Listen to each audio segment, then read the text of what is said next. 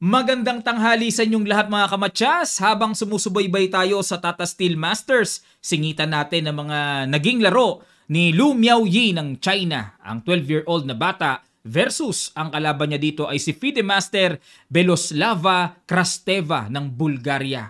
Ayan, parang si Costinho kang datingan, parang model din ah. Okay, nakakalindol tong laban na to. Bakit kaya lumindol? O, kapit ha? O, tingnan na kagad natin ang ginawa ni Miao Miao nag E4 Nag C5 si Krasteva, Sicilian. Knight C3, nag-close Sicilian si Miao Miao. D6, D4. Yun lang. close open variation. Usually sa close Sicilian, 'di ba nagdi G3, bishop G2, D3 lang, hindi nagdi D4. Pero dito kinumbined eh. Close open, kumapture sa D4, queen takes D4, knight C6, Queen D2. Aba, binarhan ang sariling bishop. Pero may plano yan. Knight F6, B3. Ayan, para i-develop din naman sa B2. E6, Bishop B2, Bishop E7, nag-castle queenside. Grabe tapang, no? Castle queenside. At nag-F4. Yan ang isa sa mga style talaga ni Meow Meow. Napansin ko may laging ganyan na pang paatake lagi na datingan eh. Nag-A6. Ayan, mag-B5 din naman. G4! Yun lang, nagsimula kagad yung manig. Ha, umuga kagad ng kaunti ah. Ilang intensity yon G4 sacrifice oh. At nag-E5 lang dito si Krasteva. Okay? O, teka muna, atin munang klaruhin. Ano ba mangyayari kung capturein ang pawn sa G4? Magda knight F3 lang daw.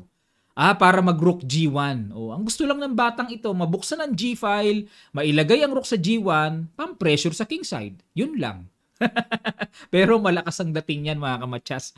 Ang kulit itong batang ito talaga. Oh, G4. Pero nabalahibuhan si Krasteva. Hindi kinain. Nag-E5 lang. At dito nag-F5. Oh, buong buo pa rin yung G4. Aba, tinagpas na. Okay, kahiyaan eh. Pero itong knight x G4, meron din namang sundot ng bishop G5. Oy, kukwinlisin.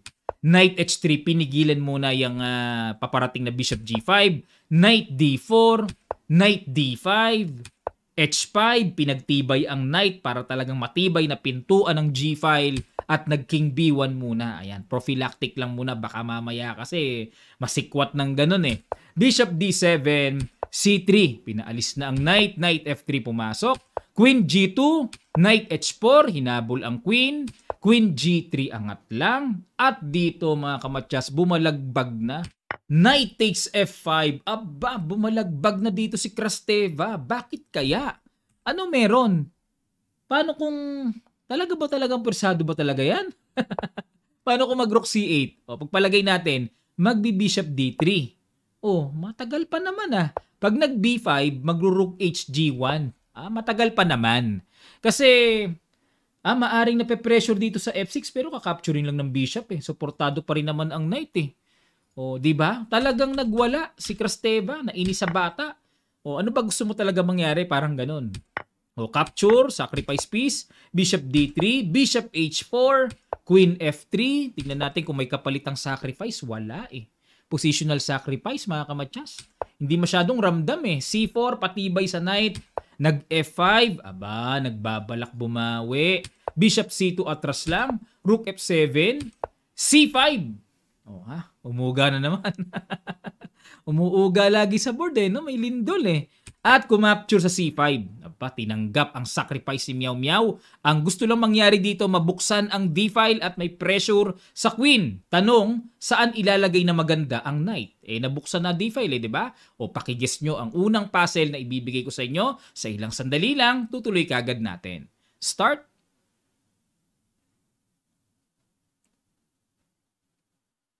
Maraming salamat and congratulations sa mga nakakita. Knight DF4, atake sa queen at para mahagip ang bishop.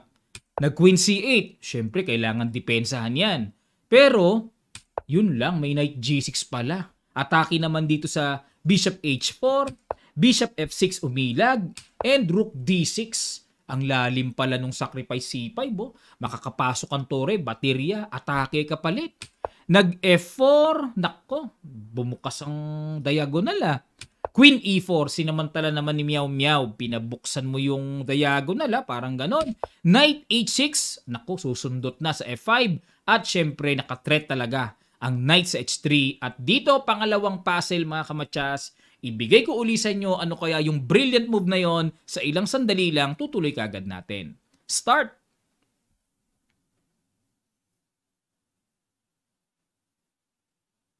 Congrats sa mga naka-spot. Oh, ha, uuga to ha. Boom!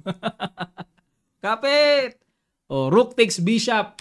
Kinapture at nag-knight G takes F4. Depensado na ang knight, hindi pa makakapture ang pawn kasi nakapin. Pambihirski na bata ito. Queen C8. Ayun na, bumigay na ang puso ni Krasteva. Kanino kaya bumigay?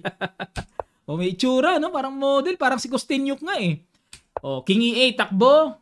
Rook D1, nilagyan muna ng bakod. Kasi pag nag-check, tatakbo lang eh. O, bakod muna. At dito, Rook C7. Bakit kaya? Ah, para mayroong espasyo. Sa F7, natatakbuhan pa ang King.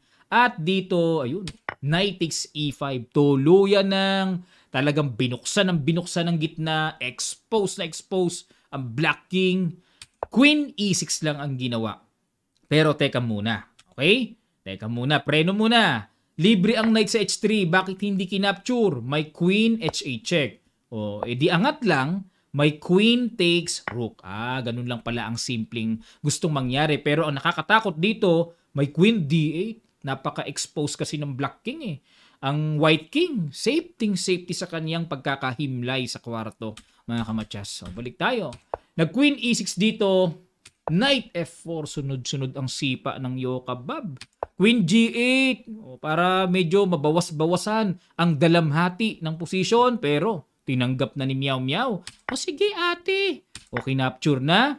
Ay kaso yun nga lang, salbahe. Kaya pala nakipagkwento-kwin eh. Kung walang ganyan, di makikipagkwento-kwento eh. O tinan nyo ha. King E7, kaya pala nakipagkwento-kwin mayroong Knight D5. Boom! Kapit! Puro lindol ang nangyari sa laban. Nag-resign na dito si Krasteva mga kamatsas. Wala na eh. Bakit nag-resign? Saan pupunta ang king? Pag nagpunta sa E6, capture na ang tore, double pa. Pambihirski talagang bata ito, salbahe. Kapag naman, nagpunta sa D6 para masabing may depensa, may knight C4 check naman. O itakbo natin. King C6, may knight takes F6, knight takes F6, rook D6 check, king B5, rook B6, pirmahan ng score sheet and wines. Panalo ang puti mga kamatsas. Grabe, no? Tindi ng pagkalindol ng laban na ito. Fide Master ang kalaban niya, ha? Ang kanyang ate na si Krasteva. Oh, may itsura parang si Kostenyuk, no? Malamodel ang datingan, eh, taga Bulgaria. Okay, yan po ang matinding naging laban ni Miao Yi dito. Long game ito na naganap sa Serbia pa rin, round robin.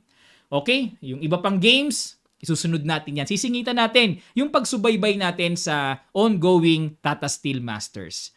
Okay, sana natuto kayo na entertain at naglalambing. Palike and share ang video na ito. At sa mga gusto palang sumali ha, sa darating na February 25, Kamatcha 7th Edition Rapid Federated Tournament Posted lang po sa ating community sa YouTube. Posted din sa ating Facebook page Kamatchas. Kung kayo ay hindi pa nakakapag-subscribe dito, subscribe na. Kung kayo ay hindi pa nakakapag-follow sa ating Facebook page Kamatchas, mag-follow na. At posted din syempre sa ating official website kamatchas.com. Ang advantage pag naka-join kayo sa ating official website ay mahahatiran kayo ng messages, blast kung tawagin, SMS blast namin. Hindi kailangan ng internet, I-join nyo lang yung inyong gamit na cellphone number, makaka-receive kayo ng messages, kamatsas ang nakalagay. Okay? Legit yon kamatsas. At makikita nyo yung details ng aming minamas message kagaya ng mga tournament details para makasali kayo. Limited to 150 participants lang mga kamatsas. Ha? Join na! Magkita-kita tayo sa February 25. Di man kayo makapasok sa 150, nood lang kayo. Ando naman ako, usap tayo mga kamatsas, pwedeng picture-picture tayo, remembrance. Salamat, magkita-kita pa tayo sa mga susunod pang videos.